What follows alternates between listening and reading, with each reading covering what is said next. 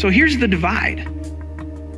Some Jesus followers see eating food offered to idols as wrong. They can't do it.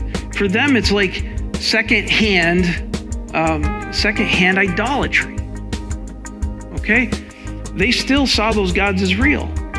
They were worshiping Jesus. They were worshiping the one true God, but but they hadn't quite figured all their past out yet. They hadn't totally understood where the reality of these gods was.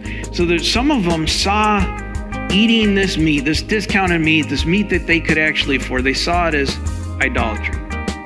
Now, there's other people at the church in Corinth, that, other Jesus followers that said, come on now.